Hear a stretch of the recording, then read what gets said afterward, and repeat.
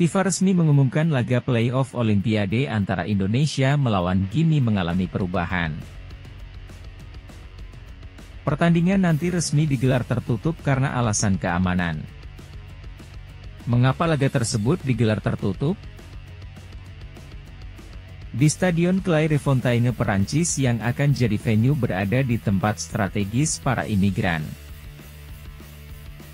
Jika digelar terbuka kemungkinan akan ramai didatangi supporter dari kedua tim. Perancis tidak mau ambil resiko jika kemudian stadion dipenuhi oleh para supporter. Stadion Clairefontaine Perancis sendiri merupakan tempat berlatih tim junior Perancis. Nama-nama besar semisal Henry dan Mbappe adalah contoh pemain yang sempat berlatih di Stadion Clairefontaine Perancis. Tidak heran jika Stadion Clairefontaine Perancis dianggap suci bagi sepak bola Perancis.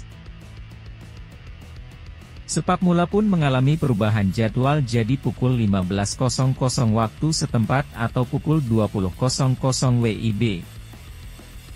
Meski pertandingan digelar secara tertutup namun kabarnya tetap akan disiarkan secara live. Pemegang hak siar yakni RCTI dan FIFA Plus akan siarkan laga antara Indonesia melawan Gini. Perubahan tersebut adalah update dari FIFA pada Sabtu malam. Akan kami update kembali jika FIFA melakukan kembali perubahan.